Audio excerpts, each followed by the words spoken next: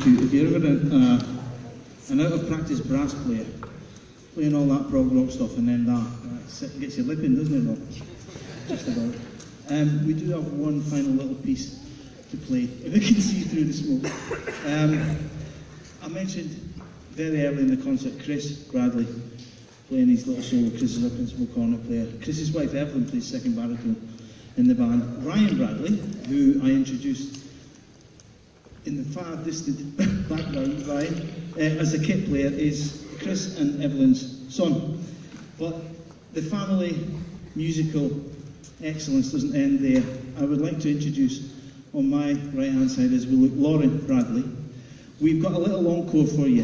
Um, David Bowie died last year, unfortunately. This is probably one of his most famous tracks. So thank you very much for coming. If there are any budding arrangers from the bands that played today in the audience, try some prog rock stuff next year. Um, you might only be able to play one piece with the time limit a bit, but um, have a go, just try anything and see if it works. Um, Lauren, can you still see that? You're all right? Yeah, brilliant. Okay, we're going to leave you. Thank you very much for coming. This is David Bowie's Life on Mars.